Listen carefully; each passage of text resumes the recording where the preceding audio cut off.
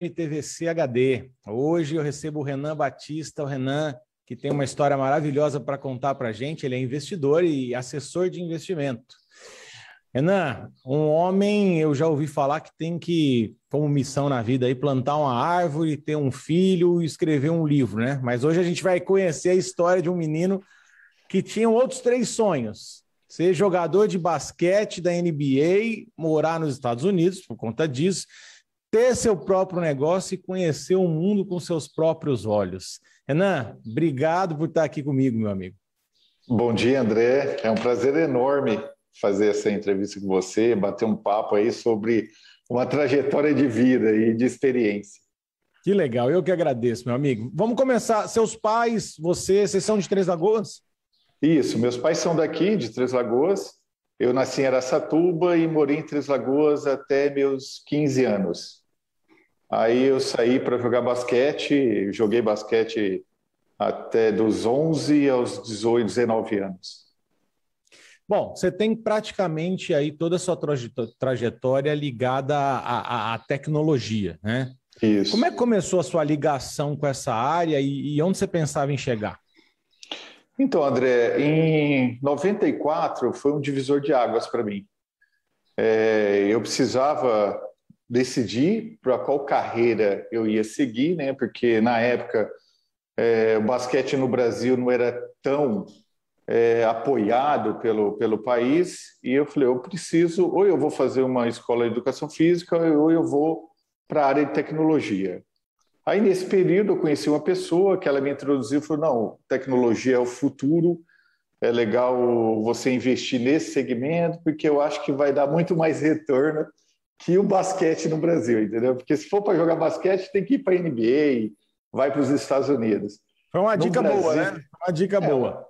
É uma dica boa. E foi assim, em 94, é, o Windows estava surgindo, né? É, acho que a informática começou a, a, ter um peso nas empresas, entendeu?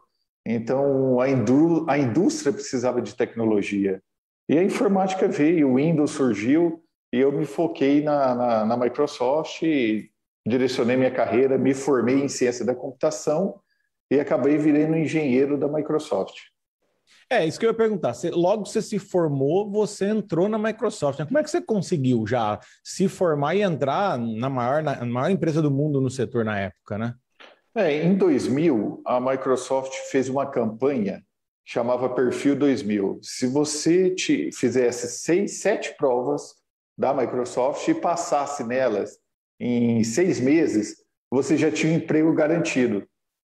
Então, eu peguei meu último ano de faculdade, estudei muito para fechar em todas as matérias ali, me formar, está preparado só para focar nos últimos seis meses de faculdade em estudar é, essas matérias que a Microsoft exigia.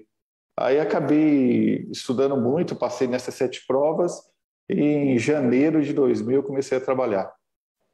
Fui para São Paulo, eu sabia, eu me formei em Votuporanga, fui para São Paulo e lá iniciei minha carreira em tecnologia. Ana, em menos de três meses de, de, de Microsoft, você recebe um convite de uma grande empresa, que foi a Sul América, né, no auge dos seus 22 anos, né? E simplesmente Isso. você sai da maior empresa de tecnologia do mundo naquela altura, né? Por que, que você tomou aquela decisão?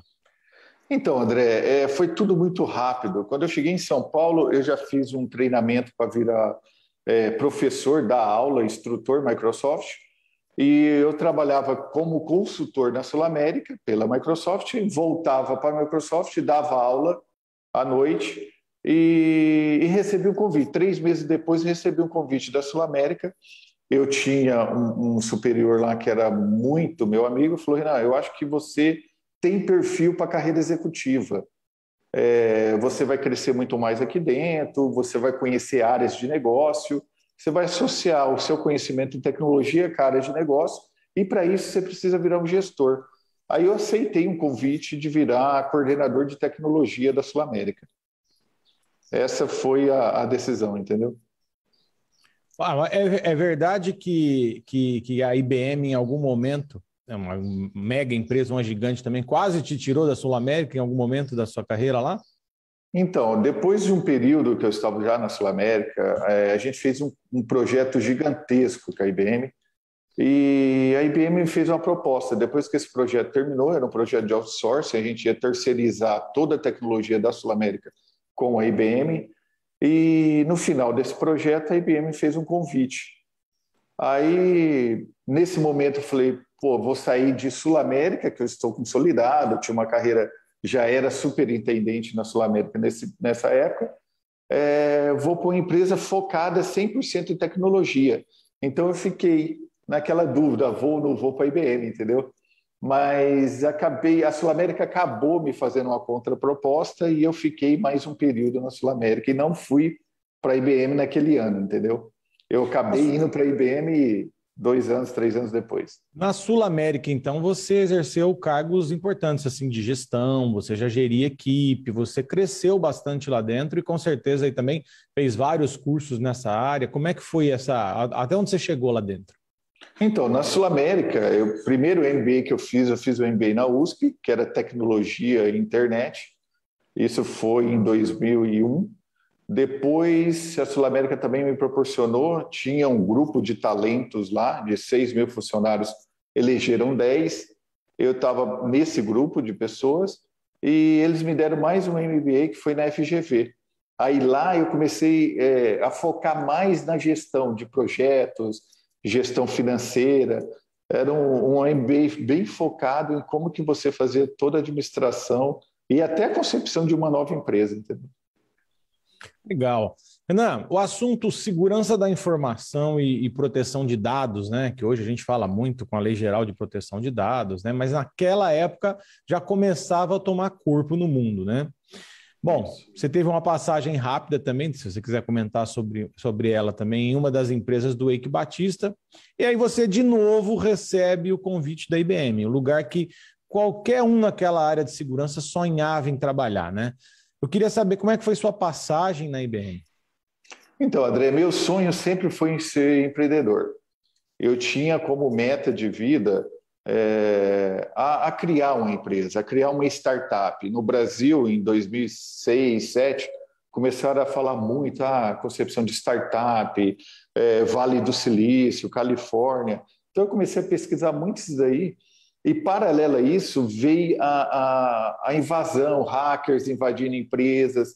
E, e a própria Sul América estava tendo problema com relação a isso eles a gente acabou criando um segmento lá dentro, uma torre de segurança da informação, e me convidaram para assumir essa área. Aí eu falei assim: é um desafio novo aqui dentro da Sul América, é, já conheço muita coisa aqui. Eu assumi esse cargo de segurança e passei a, a coordenar, a gerenciar toda a segurança da companhia, entendeu? E depois de uns três anos o Eike Batista criou, no grupo Eike Batista, tinha um, um, um, segmento de tecnologia que tinham sete empresas ligadas a esse, esse grupo. E eles me chamaram para eu cuidar da segurança. Aí eu acabei saindo da Sul América para criar esse startup dentro do grupo do Eike Batista. Só que logo motivado aquela... assim, motivado por aquela sua vontade de, de ser empreendedor, de ter um negócio próprio, começar um negócio novo, né? Exatamente, exatamente foi ali que começou o embrião de eu querer criar uma nova empresa, tá? Só que aí veio, passados aí uns sete meses, é, foi aquela decepção toda com o Eike Batista, o GX quebrou, o Eike Batista desapareceu, e eu acabei, é, com muita sorte, a IBM me convidou de novo para eu ir para a IBM. E é, para cuidar da área de segurança também na IBM, entendeu? Então, eu passei de ser na Sul América como um, um cliente de segurança, né, gestor de segurança, fui para a IBM para vender segurança da informação. Tá? E assim, de lá para cá, esse mercado cresceu muito também. Né? Hoje você vê a lei de LGPD, uma série de leis que criaram aí de proteção de dados, e é um segmento também que vem crescendo muito. E tá, e assim, ainda continua no meu radar voltar a pensar numa startup de segurança. Renan, é, fala para mim, quais as principais diferenças que você vê na cultura de trabalho é, em uma empresa multinacional como a IBM, você também teve na, um pouco na, na, Microsoft, em comparação com a Sul América, que é uma, um outro conceito, é uma empresa mais nacional, familiar. Você vê diferenças grandes ou não tem muita, muita diferença? Tem bastante diferença, André. Assim, é, eu lá na IBM em 2009, 10, eles já tinham o conceito de home office. Tudo que está acontecendo, que a pandemia gerou aqui no Brasil, de você poder trabalhar remotamente, a IBM já tinha essa cultura interna, tá? Então, não deu muito certo com relação a 100% home office. Eles acabaram a fazendo 50% home office, 50% dentro da empresa. Então, lá você não tinha uma mesa só para você, sendo que na Sul América eu tinha uma mesa só para mim, era, um, era uma empresa familiar, eu conseguia, eu almoçava com o dono da empresa, entendeu? Eu almoçava com o vice-presidente de tecnologia. Na IBM eu não tinha esse contato diretamente com, o presidente da IBM, como exemplo. Era mais um ali. Eu era mais um no meio de 8 mil funcionários. Na Sul América, eu, eu era um executivo, tinham 6 mil funcionários, mas era muito mais é, agradável o ambiente de trabalho, entendeu? Calor humano, se sentia mais abraçado na Sul América. Muito mais, assim, a relação interpessoal na Sul América ela era algo extraordinário. Em comparação com uma IBM, que é uma multinacional americana, ela não tem, é aquele, é aquele gelo americano, entendeu? Eles são muito frios e replicava isso, mesmo você estando no Brasil, é, quando fazia videoconferência com os gringos lá nos Estados Unidos, você já tinha essa certa distanciamento, entendeu? Então eles já praticavam o distanciamento social naquela época.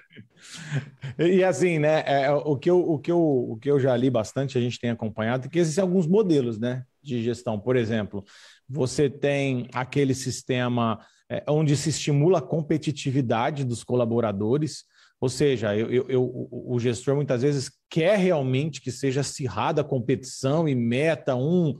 Isso acaba criando talvez um clima não tão amistoso entre as pessoas em prol de, de, uma, de uma produtividade maior. E de outro lado, você tem empresas que têm uma, uma filosofia mais de família, de união, de um pelo outro. Você sentiu também essa diferença nas duas empresas, Renan? Muito, muito, sim, André. É, é, você acaba que a IBM, cara, ela, o foco dela é ganhar dinheiro, é receita. Precisa, a empresa precisa gerar lucro, entendeu? Você tem metas, você tem objetivos a serem traçados, e se você não gerar receita, gerar lucro para a empresa, é, você vai ser demitido, entendeu? Então, na Sul América, é o, lógico que o objetivo de toda empresa é gerar lucro, mas ela te dava um subsídio maior. Uma empresa familiar, ela consegue é, te abraçar, te orientar, te coordenar, entendeu? Fazer uma gestão de carreira melhor em cima do, do colaborador. É, só que também, por mais que ela seja uma empresa familiar, tinha o comitê executivo dela, tinha os acionistas majoritários, que sentavam lá na, na, na presidência para tomar decisões estratégicas.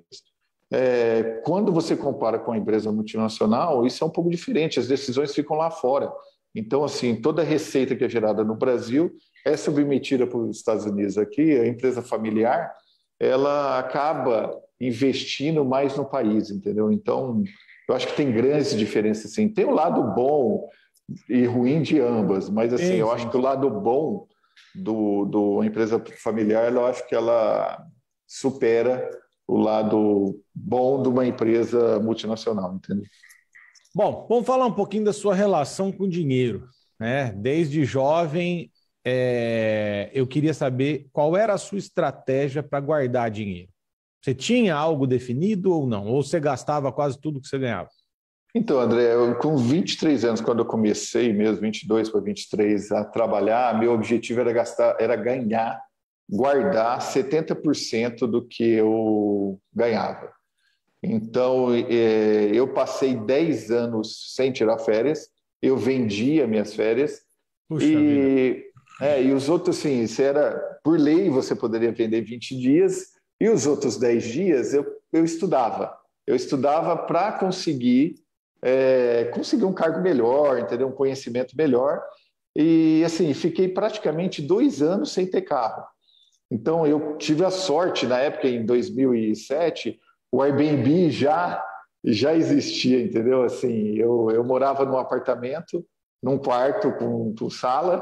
Com ah, cozinha. já compartilhado assim já. Já, já meio compartilhado. Então, isso minto, não era nem 2007, isso era 2001. Então eu já compartilhava isso daí para economizar, eu pagava, sei lá, era 1% do meu salário era para pagar aluguel, entendeu? Então eu economizava no aluguel, economizava no carro, eu já usava é, é, mobilidade compartilhada, usava muito metrô, ônibus em São Paulo, eu morava ali na região da Paulista, então era muito fácil você se locomover via transporte público, entendeu? Então eu falei assim: ó, meu objetivo é guardar dinheiro, eu quero guardar dinheiro porque eu quero ter minha independência financeira o mais cedo possível, entendeu? Eu não queria depender da, da, da aposentadoria do INSS, eu não queria depender de ninguém, eu queria depender de mim mesmo, e para isso eu tinha que economizar. Para economizar, você tem que guardar mais do que você gasta, entendeu? Então, assim. Você, então, é... você tinha condição, você era um jovem, você tinha condição de ter um carro, você tinha condição de morar melhor, mas você optou por andar de metrô, você optou por ter um quarto compartilhado, porque hoje em dia o jovem acaba tendo um, um primeiro emprego, o primeiro acesso ao dinheiro e tal, ele já parcela um carro, já compra é, equipa a casa, né? Então você foi por outro caminho, ou seja, você se privou de muita coisa em busca exatamente do que? O seu objetivo era era no futuro ter liberdade, era isso, Renan? Era isso, André. Assim, meu objetivo maior era ter liberdade liberdade para viajar, liberdade para estar tá onde eu queria estar sem compromisso de horário, entendeu? Eu queria, assim, meu sonho era explorar a Europa, fazer um, um mochilão pela Europa, é, passar uma temporada na Califórnia, no Vale do Silício, era conhecer a Patagônia aqui na América do Sul, entendeu? Então, assim, eu tinha alguns extremos que eu queria explorar. Eu queria no última cidade do, da América do Sul, que é o Ushuaia, e queria na última cidade da América do Norte, que era o Alasca, entendeu? Então, assim. E, e você tinha alguma norte, meta, uma meta financeira? Falar assim, eu quero guardar X. Quando você era jovem, você tinha essa, essa meta? Sim, minha meta é sempre, ó, eu quero sempre guardar 70% do meu salário. Então, essa era a minha assim, meta. Eu quero chegar a seis meses de custo, eu quero chegar a um ano de custo, eu quero, eu quero um dinheiro que me deixe tanto tempo sem precisar trabalhar? Tinha uma meta? Tinha uma meta, André. Assim, eu consegui atingir essa meta em pouco tempo. Eu, eu tinha um ano.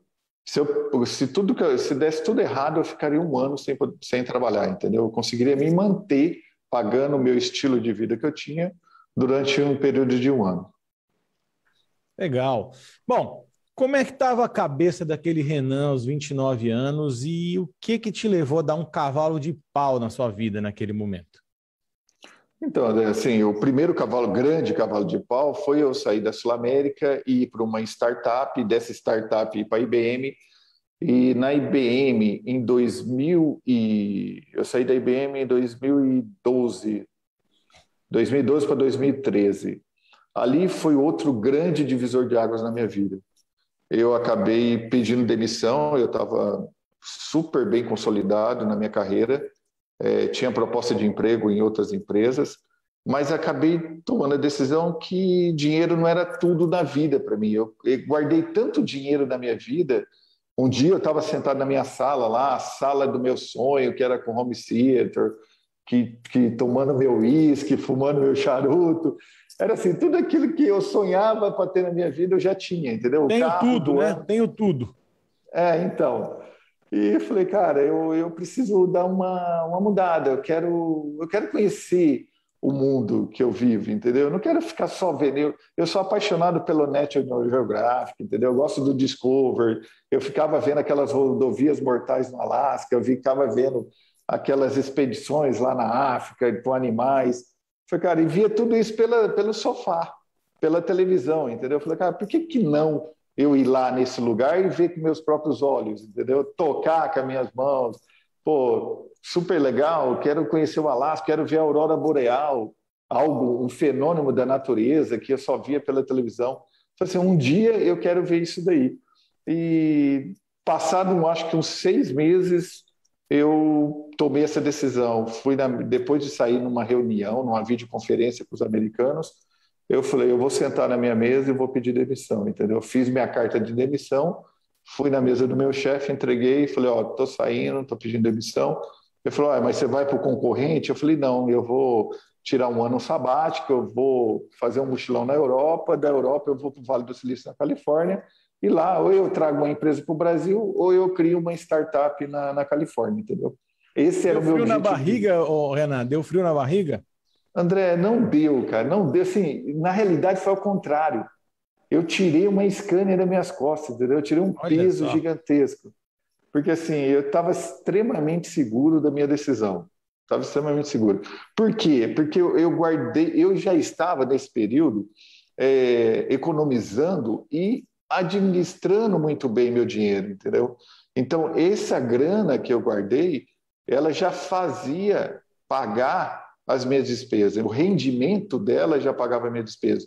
Então, aquela meta de ter salário para um ano, eu não, não, não precisava mais. Eu poderia morrer e ficar com o meu dinheiro, entendeu? Não tem, não tem problema. Então, assim, eu consegui o teu custo de vida, o teu estilo de vida já era sustentado só pelo rendimento, pelos juros do dinheiro que você tinha guardado, é isso? Exatamente. Eu aprendi... Isso era liberdade, poder... então, já? Isso era liberdade, de eu poder, assim, não depender mais de ter um emprego CLT, eu poder conseguir administrar meu próprio dinheiro e fazer meus próprios investimentos, tanto no mundo virtual como no mundo físico, entendeu? Comprar uma casa, vender essa casa, ou comprar um fundo imobiliário, comprar um fundo de ações, comprar uma ação, especificação, então assim, ouro, dólar.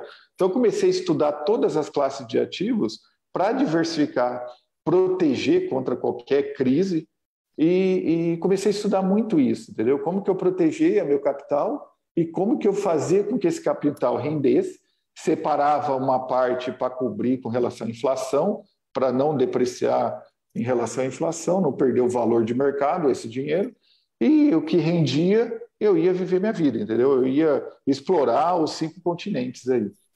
Bom, tua história chegou a, a ser narrada e contada pela Infomoney, né? Isso. Como é que isso que você está falando um pouco para a gente, você contou isso aí para muita gente também nessa edição de uma das revistas mais respeitadas aí do país, não sei se do mundo, porque ela é ligada a Bloomberg também, né? Uhum. E esse cara que você está vendo aí, ele resolveu então passar uma temporada fora e conhecer o mundo com seus próprios olhos. Nós vamos saber dessa história daqui a pouco no segundo bloco. RCN Negócios. Um lugar para você aproveitar os bons momentos da vida. Dom Jaime Loteamento, às margens do rio Sucuriú. Lotes de ranchos a partir de 361 metros quadrados, a 10 minutos do shopping. Pronto para construir, iluminação pública e rede elétrica, rua interna pavimentada, rede de água individualizada por lote. Dom Jaime Loteamento, às margens do rio Sucuriú. Informações direto com o proprietário no WhatsApp 67 98152 5079. Construa sua felicidade aqui.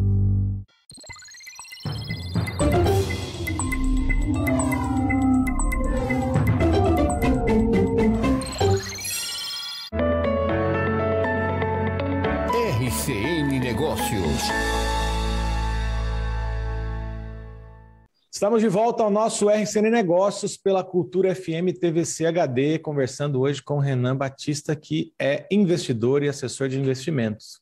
Renan, a gente falava no, no, no primeiro bloco sobre essa viagem. Então, você parou tudo para conhecer o mundo. Conta como é que você organizou e você pensou essa aventura aí. Como é que foi isso? É, assim, um dos grandes desafios, André, foi o fator psicológico Pô, você vai sair do seu país, você vai sair do conforto da sua casa, você vai sair do seu conforto financeiro, porque você você está com seu dinheiro ali administrado, né? E vai dar a volta ao mundo. Esse, é, mas esse era meu objetivo, entendeu? Eu queria dar a volta ao mundo, porque eu queria. Qual que é o nosso propósito de vida, entendeu? Falei, cara, o meu propósito de vida é conhecer o mundo. Então eu plotei o mapa, eu comprei um mapa gigante, coloquei ali na minha sala, e, e era um mapa que eu podia rabiscar com a caneta e apagar. Na hora que eu fiz isso, eu falei, cara, esse mundo é muito grande, eu não vou conseguir chegar no Uruguai, por exemplo, entendeu? Porque quando eu tinha lá meus 23, eu sempre gostei de troller, de Jeep, 4x4. Eu falei, pô, uma máquina dessa, eu vou ficar só andando aqui. Eu, eu ia com meu irmão para Ribeirão Preto, a gente andava ali no meio do canavial. Eu falei, cara, poderia pegar um, um carro desse e ir até o Ushuaia, né? E até, sei lá, a Patagônia, o Chile, as cordilheiras. De carro, de jipe, de troller. De carro, de jipe, de troller. Esse, esse era meu desafio, porque é muito fácil você pegar um avião aqui no aeroporto, descer lá em Bariloche, descer no, um vale, né? Santiago. Né? É, era muito simples para mim, entendeu? Eu queria um desafio maior, porque eu lembro, eu sempre fui apaixonado pelas histórias do Amir Klink, li todos os livros do Amir Klink, e queria, queria um dia ser velejador igual ele, viagem, uma viagem solo, cruzar o Atlântico, enfim. Falei, não, mas acho que eu, eu, eu quero fazer isso em terra ainda, vou fazer isso de carro. E, André, assim, eu falei, vou planejar. Eu sempre gostei muito de planilha, de Excel, de planejamento, fiz vários cursos de PMI, de gestão de projeto você tem que ir lá colocar todos os seus thresholds da vida, enfim. Eu falei, cara, comecei a fazer isso. André, no, quando eu dei assim, quando eu falei a hora de partida, que eu liguei a chave do carro, falei, pô, daqui agora é só para o sul, né? Vou lá para o Ushuaia. Na primeira semana, esse planejamento já mudou tudo, já rasguei tudo que eu tinha de planejamento. Porque assim, você vai conhecer algo que eu não tinha é, é, entendido ainda, que é o relacionamento entre pessoas, o relacionamento interpessoal, entendeu? Então você conhece alguém, ou você conhece um grupo de pessoas, você vai num camping, conhece uma galera super gente boa que te dá uma dica de um lugar que, que você tem que ir, porque lá tem mais gente que você pode conversar. Enfim, esse, esse relacionamento que você vai criando com as pessoas que você vai encontrando na viagem é, mudou completamente meu planejamento. Então, assim, eu coloquei datas, dia tal eu quero estar em Montevidéu, é, daqui 15 dias eu quero estar em Buenos Aires, X dias eu quero estar ali na, na, na, no Ushuaia, por exemplo. Entendeu? Isso foi mudando muito, assim, durante a viagem. Então, eu comecei a eliminar da minha vida esse negócio de, ah, vamos cumprir as metas, né, as metas diárias, tem que rodar 500 quilômetros por dia. Eu falei, não, acaba com isso, cara. Eu vou seguir o que o meu coração está sentindo, entendeu? E, foi, a viagem já foi te moldando um pouco, né? Já. Você contou uma história bacana até que você conheceu um pessoal que perguntou que velocidade que você estava andando, né? Comenta que eu achei isso bacana, Renan. Então, eu estava lá na, na, El Calafate, El Chatem, aquela região ali da, da Argentina, que é maravilhoso. E eu encontrei um casal de franceses que, que conversando ali com eles, né? Falou, ah, super legal o seu Jeep e tal, mas você anda quantos por hora com ele? Eu falei, ah, cara, eu ando uma, em média 100, 110, às vezes 120, quando tem um vento de, de polpa, né? Aí ele falou assim, para, Renan, você tem que andar 70, 80 quilômetros no máximo, que aí você vai ter tempo de olhar as paisagens, você vai ter tempo de conversar até com uma pessoa na hora que você parar, entendeu? Então, assim, é, diminui sua velocidade, e aproveita mais quando você encontrar pessoas que te dá é, um, assim, um conteúdo legal, entendeu? Aproveita esse calor humano e aceita todos os convites que te, te entendeu? Então, assim, André, eu recebia convite para tudo. Recebi convite para pescar caranguejo no Alasca, recebia convite para escalar montanhas ali no, na Argentina, entendeu? Então, assim, para jantar na casa da pessoa, para dormir na casa da pessoa. Então, todo dia você tinha um convite diferente, todo dia era uma, era um, uma dinâmica diferente. Eu, assim, acabou aquela rotina. A única rotina que eu tinha era checar o óleo do motor e só, entendeu? O pneu está calibrado, vamos embora. Então Diesel... não tinha muito assim, ó. É, eu vou para Uruguai e lá eu quero ficar três dias, quatro dias e depois eu sigo para tal lugar. Eu imagino então que, que que como você começou a ser moldado, a sua até a tua própria personalidade, você vai me corrigindo, tá, Renan? É, você chegava num lugar, olha, que lugar bacana, quanta gente legal, eu vou ficar aqui mais, tá gostoso. De repente alguém falava, vai conhecer tal lugar ali perto que é incrível. Não estava no teu script, mas você falou, quer saber? Tô livre, tô com liberdade e vou conhecer. Era isso, Renan? Exatamente isso. Na, assim, na minha planilha inicial tinha tudo isso, quatro dias nessa cidade, três nessa, cinco naquela. Acabou isso daí, entendeu? Eu rasguei isso tudo, deletei tudo, falei, ó, oh, cara, agora assim, eu vou seguir o que o, coração, o meu coração manda e, e as dicas da, dos locais. Eu tinha muito contato com os locais e são os melhores, né, para te dar dica de turista, assim, né? cara falou, não, cara, esquece esse lugar aqui que só vem turista, vai nesse daqui que é muito mais bonito, não tem ninguém, só tem locais. Pra você ter uma ideia, eu fui na, na, é, na Ásia, na Indonésia, num lugar que eles nunca tinham visto uma pessoa branca, é um, um ocidental, entendeu? Poxa vida. Então o cara falou, pô, cheguei lá, me fantasiaram e tal, eles estavam tendo no, no festival. Enfim, é isso daí que, que passou a, a, a, mexer mais comigo, cara. Eu falei assim, pô, eu posso conhecer o mundo é, e como que eu subsidio isso daí? Cuidando bem do meu dinheiro, entendeu? Ah, eu, você pode fazer viagem de mil dólares por dia, como você pode fazer viagem de 10 dólares por dia. Então, você ficava em campings, o seu esquema foi campings, né? É, a grande maioria era camping, porque eu gostava muito, porque é ali que eu conhecia as melhores pessoas, entendeu? Sim, gente de, de todos os lugares ali para até te dar todas essas dicas. Agora, hum, resumidamente, quanto tempo total da viagem e, e, e países e continentes que você conheceu? Quantos foram, mais ou menos? Foram três anos de viagem, 150 mil quilômetros e 60 países. Puxa vida. Ô, ô Renan, o que que faltou nessa viagem? O que, que acabou ficando para trás que talvez você gostaria de ter conhecido e não deu? Não ter terminado. É. Deveria ter continuado, deveria assim, é, assim eu estou super feliz onde eu estou, com as pessoas que eu estou, entendeu? Eu acho que ó, hoje eu estou em Três Lagoas, André. Quem mais, nem eu imaginava que eu ia dar volta ao mundo e ia voltar para minha cidade. É, mas assim, eu, eu mudei tanto meu estilo de pensar que para mim, independentemente do lugar, é, o mais importante é você estar com as pessoas que você gosta, entendeu? É, não, nós vamos falar nisso. Agora, você, os lugares mais incríveis que você conheceu, resume para nós aí e algumas histórias incríveis também, só para a gente ter, é bem interessante para a gente. Os extremos, né? assim, eu gostei muito do Ushuaia, gostei muito do Alasca, gostei muito do Peru, gostei de Belize, que é um país sensacional que fica ali entre Guatemala e México. É, eu fui nas barreiras de corais na Austrália e fui nas barreiras de corais de Belize. Eu achei Belize dez vezes mais legal e o mais famoso é na Austrália. Né? Enfim, é, gostei muito do leste europeu. Então é difícil falar para você assim um lugar bonito. Eu falei assim, ó, Histórias, um lugar que as pessoas diferentes. Você viu muita coisa, né, Renan? Muito, muito. Assim, as, assim a Rússia, Rússia, Cazaquistão, Mongólia. Imagina você no deserto de Gobi, divisa com a China, ali GPS não funciona e você está numa tenda dos mongols, entendeu? Comendo carne de cavalo, leite de camela é, e compartilhando a comida, a mesa deles ali. É, são histórias assim que sensacionais, entendeu? Você falou de uma comunidade na Califórnia também que você achou muito interessante, né? Então, cara, é uma comunidade é, que fica em Exalém, ali no Big Sur, na Califórnia, que eu acho um lugar sensacional, entendeu? Para mim existe o mundo, existe aquele lugar. Ali é um lugar que, para você ter uma ideia, são seis meses para você conseguir uma vaga para trabalhar de voluntário. E quando você vai trabalhar na horta de voluntário, eu fiz muito trabalho social na viagem também, entendeu? Fui em, em ecovilas Hare Krishna, ecovilas no Peru, no Alasca, várias, na, na, na Rússia. E ali na Exalém, ela assim, foi tão impressionante que para você trabalhar na horta, você tinha que lavar as mãos, você tinha que meditar e lavar as mãos para trabalhar na horta. Você ter uma ideia. Então, assim, era um lugar super, super bonito, assim.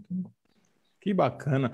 O, o a gente estava falando disso, Renan. O que que essa viagem foi mudando em você no que se refere a pensamentos com relação à vida, você acha? Os principais pontos que, que moldou esse novo Renan?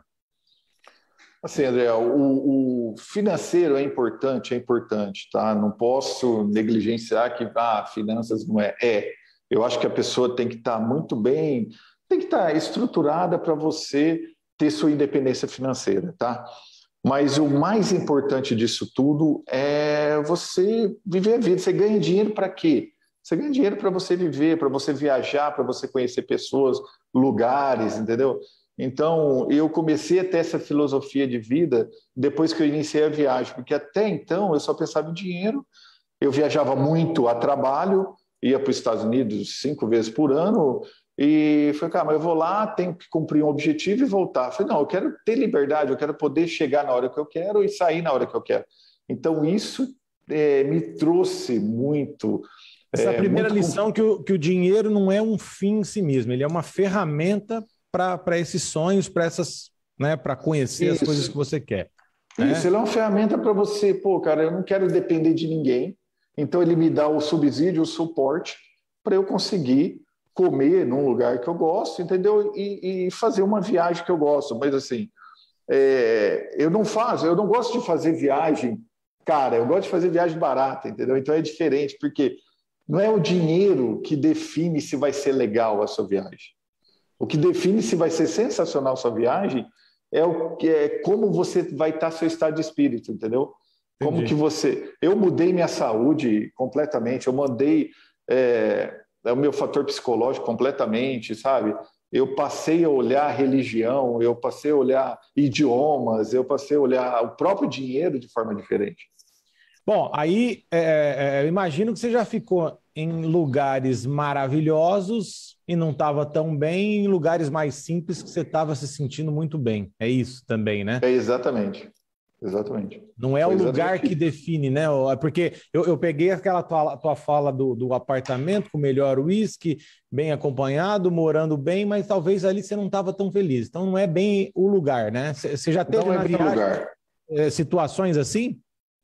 Já, várias, entendeu? Já tive assim. Eu já tomei, por exemplo, eu já fiquei quase em frente à Torre Eiffel é, por 30 euros a diária. É, eu coloquei ali, eu tomava vinho de 2 euros em frente à Torre Eiffel e estava super gostoso, cara. Então, o vinho também não é tanto pelo preço, é pelo seu paladar, é pelo seu momento que você está vivendo, entendeu? Então, é, é eu ia em vinhedos ali na, na, França, na região dos vinhos da França, que eu tomava um vinho no meio do, da vinícola, sabe? Um vinho que eu comprava no supermercado. Então, tem coisas que, que o dinheiro não substitui o estado de espírito e o momento que você está vivendo. E com relação também às pessoas, né, Ana? Porque o que define, pelo que você me falou, não é só o lugar, também o, o mais importante são estar cercado de pessoas boas. Então, às vezes, você está muito bem numa, numa aldeia simples, está feliz, está se divertindo, e às vezes não está tão bem em frente à Torre Eiffel também, né? É exatamente. Isso eu, eu tive vários momentos, tanto na Bolívia como na Rússia. Eu encontrei famílias maravilhosas, assim, no próprio Cazaquistão. Eles, assim, você andando com a bandeira do Brasil, André, você consegue abrir as portas do mundo inteiro. Então, esse é um povo simpático e, e, aquela, e as pessoas se aproximam de você. E você se aproxima dela e, sim, tem um relacionamento maravilhoso, cara. Assim, o mundo inteiro entende que o Brasil é um país maravilhoso. O único problema do Brasil é a política, o resto ele é maravilhoso, entendeu? Essa então, viagem, então, esse... então, muito mais que conhecer lugares, você foi sentir gente, né, Renan? Talvez é você isso. descobriu isso com, com, já no início da viagem, né? Isso, isso. Foi assim. Sentir vida sentir vida, sentir o, o, aquela, o quanto que aquela pessoa quer seu bem. Assim, a primeira dúvida que eu tinha quando eu comecei a viagem, falei, cara, se o carro quebrar, se, se tiver problema no deserto, eu não tenho peça, eu não tenho diesel acabar. Não, assim, André, por incrível que pareça, eu passei a torcer para o carro quebrar. Porque os melhores momentos, os melhores momentos foi quando o carro quebrou. Porque o carro quebrou, no deserto do Cazaquistão. Uma família cazaquistanesa lá me levou para casa deles. Cara, a gente fez assim uma amizade gigantesca. Uma amizade gigantesca. Me levaram para lugares assim que eu não conseguia ir se não tivesse eles comigo, entendeu? Então, somos amigos até hoje. O único problema é o fuso horário. Eles mandam o WhatsApp três horas da manhã em russo eu tenho que traduzir, eu aprendi algumas palavras em russo para responder para eles, entendeu? Então, então, assim, então eu estou chegando à conclusão que não tem lugar perfeito para morar. Não tem, assim, existem as pessoas perfeitas, não perfeita, mas existem as, as pessoas que você se sintam bem do lado dela. Que legal. A outra lição que você falou para nós é talvez levar a vida um pouco mais devagar, que aquele casal francês estava te falando para andar 80 por hora, talvez você trouxe isso para sua vida também, porque você estava nos 200 por hora na sua carreira, na sua vida, é São Paulo, é Rio, né? É, às vezes, André, a melhor decisão é ficar parado, entendeu? Então você fala assim, por que, que eu vou sair correndo? Sabe? Às vezes você quer atropelar as coisas, você quer correr, você quer ganhar mais, você quer fazer um puta negócio, sendo que o melhor momento no mercado financeiro é assim, cara. A psicologia financeira é algo extraordinário. Às vezes, na crise, às vezes não, 100% do momento, na crise, é ficar parado. Na crise é o momento de comprar um ativo, não é um momento de vender um ativo, entendeu? Só que assim, psicologicamente, quando você está dentro do furacão, você começa a tomar decisão precipitada. Ao invés de você tomar decisão precipitada, fica parado, entendeu? Não faz nada. Espera a maré descer. Renan, viagem termina. O que fazer agora? André, assim, eu saí com um plano B. Falei, ó, se tudo der errado, eu boto fogo nesse carro aqui, pego a placa, desapareço com ela e vou para os Estados Unidos, vou virar um cidadão americano, vou correr atrás do green card. Esse era meu plano B. Só que foi mudando tanto isso durante a viagem que depois que a viagem terminou, que eu mandei o carro da Rússia para o Chile, é, fui para o Chile, dirigi do Chile até o Brasil. Esse carro viajou mais de avião do que você, né? Ele viajou mais de navio do que eu. ah, de navio. é, ele sempre era transportado pelo container. E aí eu falei, cara, assim, agora o que eu vou fazer, né? Estou no Brasil, fiquei três anos sem vir para o Brasil e não, vou, vou cumprir meu objetivo, que é para voltar para os Estados Unidos. Quando eu voltei, André, eu falei, cara, pisei no aeroporto de, de Dallas, de Austin, falei, o que, que eu estou fazendo aqui, entendeu? Será que esse é o país mesmo para eu morar? E não sei se foi sorte ou azar, todas as pessoas que eu encontrei falaram que, pô, você mora no melhor país do mundo, o que, que você está fazendo aqui, sabe? Enfim, uma série de, de argumentos. E eu comecei a me questionar também. Falei assim, ó, para mim hoje não, não existe lugar perfeito. Existem as pessoas que eu me sintam bem. Então, se eu estou feliz em Três Lagoas, eu vou ficar em Três Lagoas. Não estou feliz mais aqui, eu pego minhas coisas e mudo, entendeu?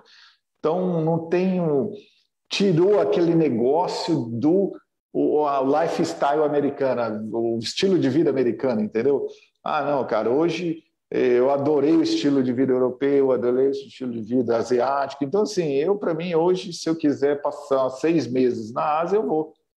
Então, não, não, é, eu construí uma maneira de pensar diferente do que eu tinha antes da viagem, entendeu? Ou seja, aquele Renan, na época da, do crescimento de carreira, da IBM, da Sul América, talvez fazia sentido é, realizar aquele sonho que você já tinha de pequeno de morar nos Estados Unidos. A viagem acabou te mudando e falou: peraí, não é o lugar. Estou aqui no Vale do Silício, onde todo mundo queria estar, etc. e tal. Mas será que é aqui? Será que é aqui que eu vou estar com pessoas que eu vou me sentir bem?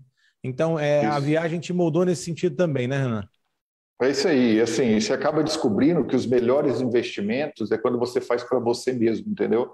Então, eu passei a estudar mais para administrar bem meus, meus investimentos eu passei, porque com isso eu tinha minha liberdade financeira e, e investi mais em mim, entendeu? Investi mais nas minhas, nas minhas viagens, investi mais na minha, no meu psicológico.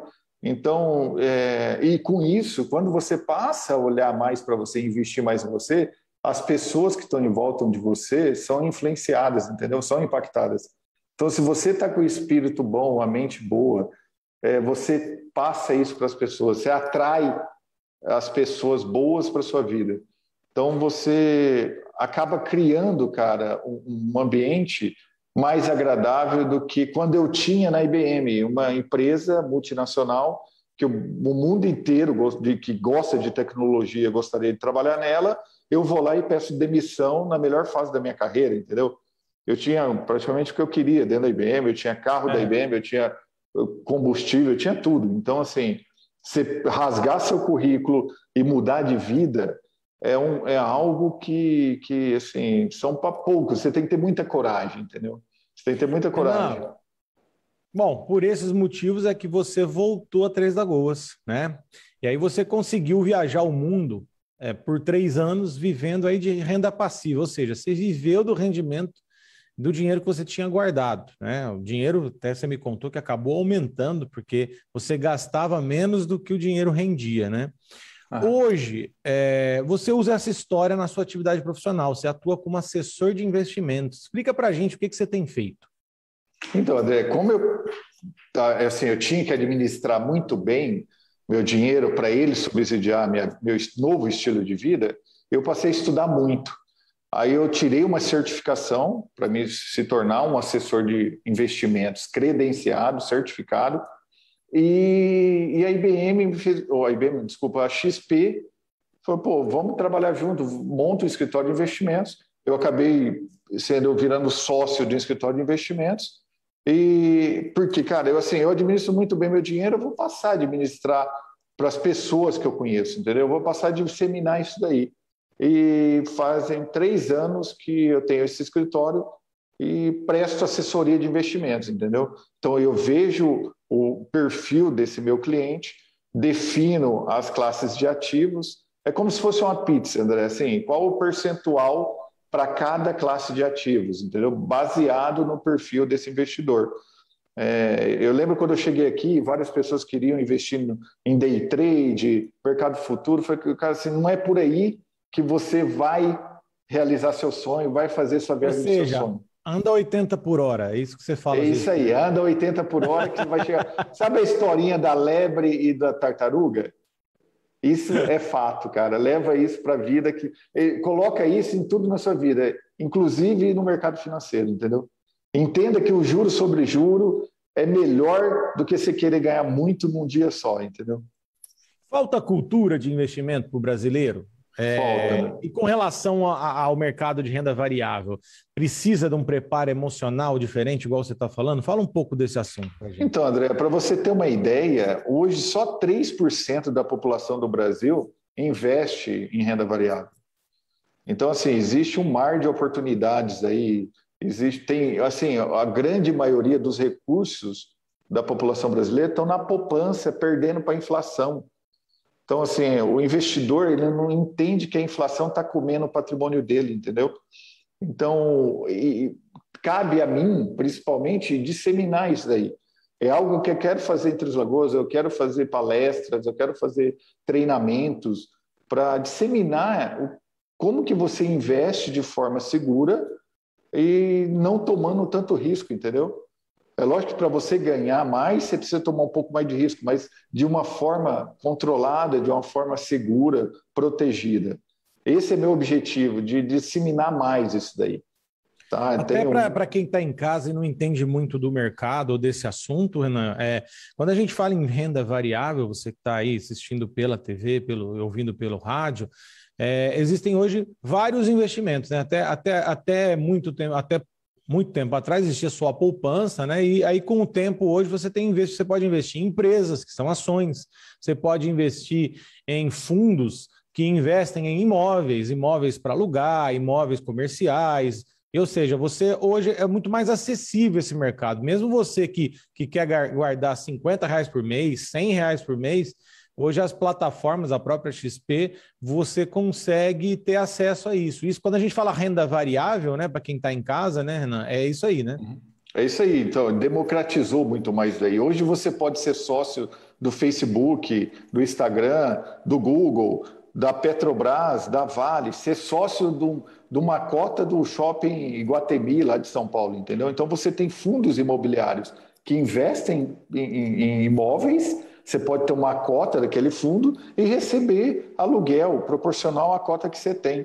E você pode ser sócio da Vale, de um Facebook, receber dividendos mais a valorização da ação, entendeu? Então, é, você gera uma renda passiva. Então, você não precisa hoje, André, ter um imóvel físico para você ter um aluguel. Hoje tem fundo imobiliário que está pagando quase 1%. Assim, com o governo, ele isentou o imposto de renda para fundo imobiliário. Então, você não paga imposto de renda. Você não tem problema de manutenção, você não tem problema de seu inquilino parar de pagar. Obrigatoriamente, o fundo tem que pagar para você o, a, a, renda daquele fundo que ele tem, que você tem, entendeu? Então, assim, a empresa Vale, Petrobras pagam bons dividendos, tem empresas que pagam até mais dividendos, entendeu? Então, assim, depende muito do perfil. Ah, eu quero ter uma renda passiva com boas pagadoras de dividendos. Eu tenho ali as empresas boas pagadoras de dividendos. Eu quero investir. Ah, eu tenho um apartamento no, no sei lá, no Guarujá e só estou pagando o condomínio. Para quê, entendeu?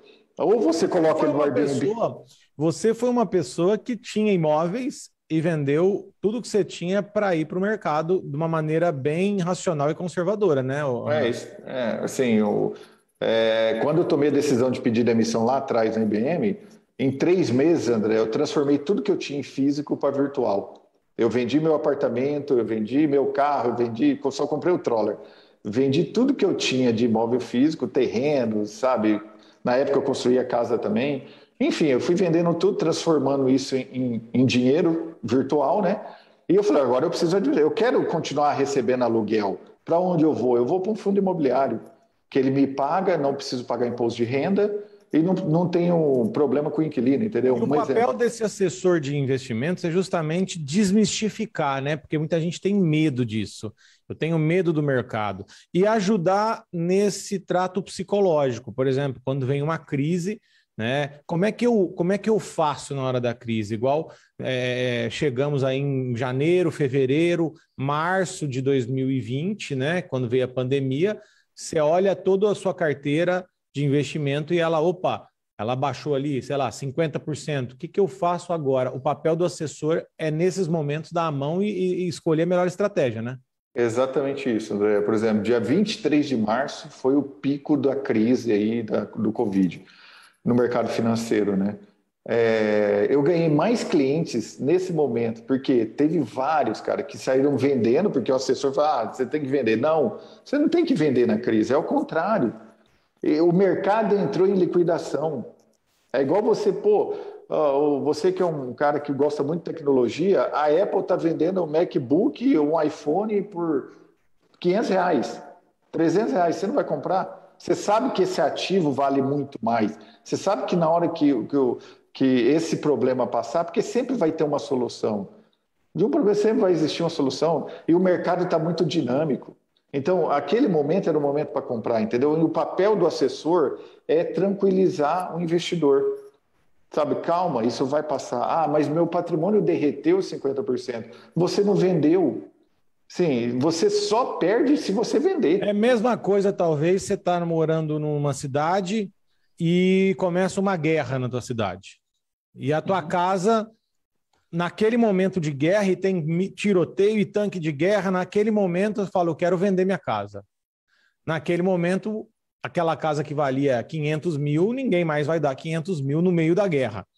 Né? Alguém vai dar 100, 200 e tal eu não posso desesperar e vender minha casa no meio da guerra. Eu tenho que esperar a guerra passar, que ela vai voltar ao valor que ela está. Agora, se eu tiver dinheiro, às vezes é hora de eu comprar casas no meio da guerra. Exatamente isso. Por isso que o papel de assessor de investimento, na alocação de ativos, ele define um caixa. Qual que é a função desse caixa? Ah, mas eu não estou ganhando muito dinheiro no caixa. Ok, mas na hora que vir uma crise, você vai pegar aquela casa lá da guerra, que valia que era, valia 500 e foi para 100, para 50, e comprar ela. Entendeu? Imagina, aí sim você vai multiplicar, triplicar seu patrimônio. Porque você, mas aí, André, tem aqueles que não fazem nada, fica parado, né? Tem aqueles que vendem, que é o pior. Tem os que ficam parados, que é um movimento de ficar parado, e tem aqueles que compram. Eu tive cliente que comprou muito dia 23 de março. Então, assim, o cara está ganhando, a carteira dele está voando aí, entendeu? Melhor do que aqueles que estavam investindo day trade, fazendo trade rápido.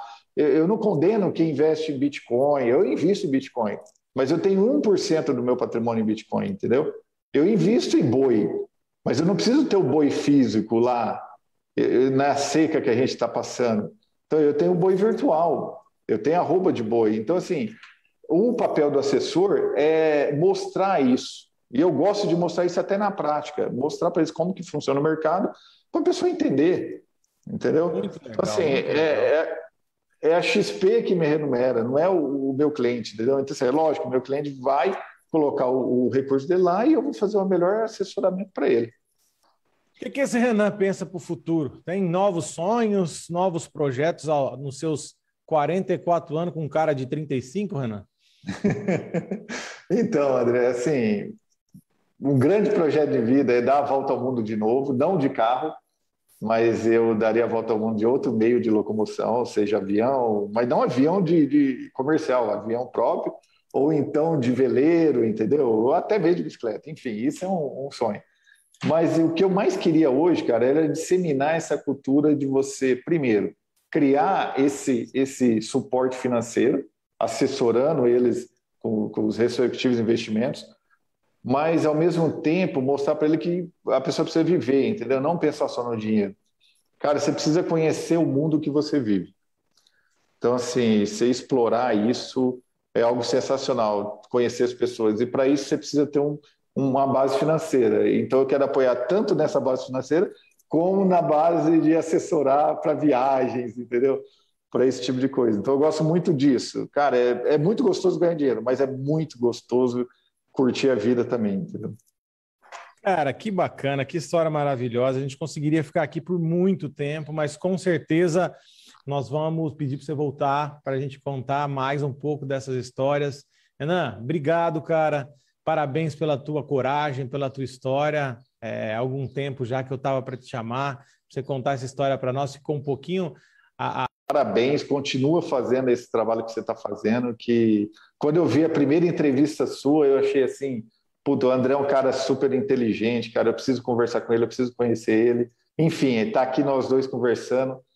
De novo, parabéns pelo trabalho, parabéns pela pessoa que você é, inteligentíssimo. Cara, sucesso na sua vida e conta comigo na assessoria de qualquer coisa, entendeu? Meu amigo, obrigado mesmo, parabéns. Um abraço para você, tá? o nosso. RCN Negócios fica por aqui. Eu espero você até sábado que vem com um novo convidado. Até lá! Um lugar para você aproveitar os bons momentos da vida. Dom Jaime Loteamento. As margens do rio Sucuriú. Lotes de ranchos a partir de 361 metros quadrados. A 10 minutos do shopping.